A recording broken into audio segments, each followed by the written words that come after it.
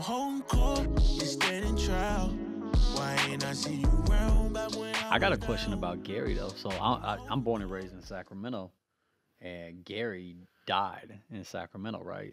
And they ruled it as a suicide, but he had two gunshot wounds to the head. I talked to him two days before he died. I talked to him every day. I'm the one who, because I had got out on bail. So Gary came to visit me in, in Compton, in LA, to get some discovery from me. So I was talk, I was friends with Gary. I talked to him all the time. Because when I was first went, I didn't have no bail. So about a year and a half later, they ended up giving me a bail. So that's how I was out when that CIA dude came. Gary was with me. So when the CIA dude came, I remember giving Gary all the information. So Gary wanted to get who me and Rick was. So I'm telling this whole story. But while I'm telling this story, the newspaper article came out, not the book yet. Mhm. So we was like, and I'm like, man, you're not scared for your life. You're not scared. Like, I'm not scared, but you know, I understand. I'm like, man, because because I people have knocked at my door before that. I'm like, who the fuck is this? Like, Mhm. you know, once the article came out, it was a three page article about In what LA happened. Times.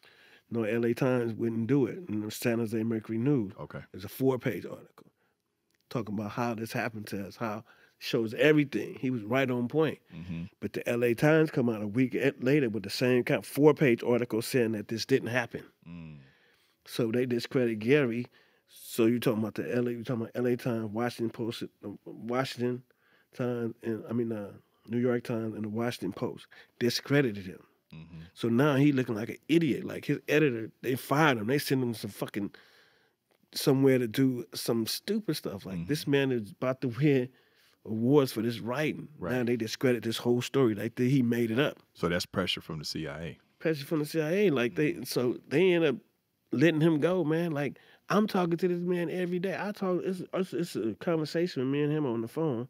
And he's like, Chico, there's people on my back pole. I hmm don't know who they are. They've been here for three, four days. hmm Like, damn, man, be careful. hmm So three days later, I get a call from my daddy. Did you see what happened to Gary? Mm-hmm. He shot himself twice in the head. The man told me, Chico, I'm never gonna kill myself. I'm never gonna do that. I talk to this man all the time. Wow. I became I know his whole lifestyle, I know his his wife, his kids, and everything. Yeah. So he he he received a lot of pressure from different situations, man. Like, you know, this man wrote this story. He, you know, and he at one time this story was getting a million hits a day. This is when the internet not even this Yeah. is when it's fresh. We're Right. talking about then. hmm The story blew up so much. Everybody want to know about this story.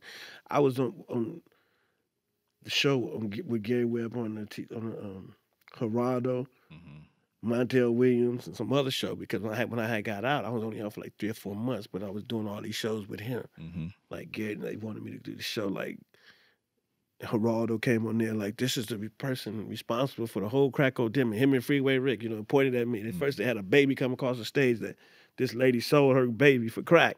hmm They said the person responsible for is right there, Chico Brown, and his crime me Freeway Rick is in prison for that. And I'm like, what the fuck? And I'm asking Gary, to answer the question. Yeah. My lawyer ended up asking the question, and, and but Gary was like, Gary knew he had it right.